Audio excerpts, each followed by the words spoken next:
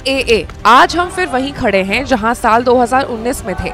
उस साल देश के हर हिस्से में सीए को लेकर विरोध चल रहा था, और इस साल भी, यानी 2024 में भी सीए को लेकर विरोध चल रहा है।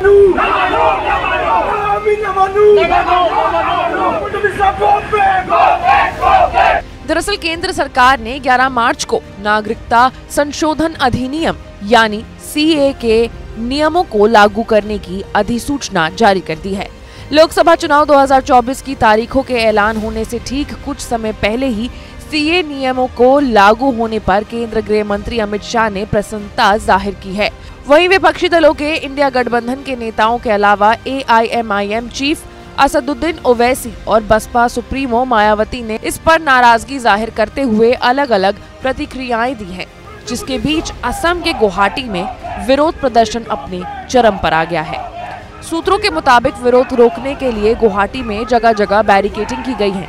कई थानों के खाली परिसरों में अस्थायी जेल बनाए गए हैं। देखा जाए तो इस बार आंदोलन उग्र हुआ तो ये राज्य की सभी चौदह लोकसभा सीटों पर असर डालेगा। पिछले लोकसभा चुनाव में भाजपा नौ सीटें जीती थी। वहीं असम में कांग्रेस की 16 दलों के संयुक्त विपक्षी मंच ने सीए के खिलाफ बड़े आंदोलन की धमकी दी है। मंच के सदस्यों ने असम के राज्यपाल गुलाब चंद कटारिया से मुलाकात की और राष्ट्रपति द्रौपदी मुर्मू के लिए एक ज्ञापन सौंपा, जिसमें केंद्र सरकार की ओर से असम के लोगों पर सीए थोपने से रोकने का अनुरोध किया गया है। वहीं असम के मुख्यमंत्री हेमंत बिस्व शर्मा ने कहा है कि सड़कों पर विरोध प्रदर्शन का कोई फ़ायदा नहीं होगा, क्योंकि ये पहले से ही संसद की ओर से पारित कानून है।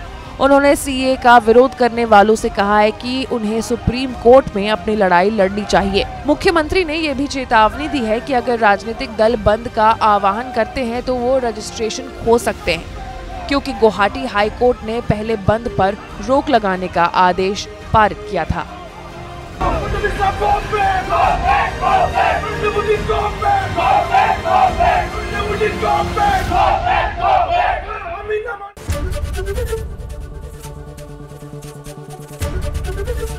एबीपी गंगा खबर आपकी जुबा आपकी।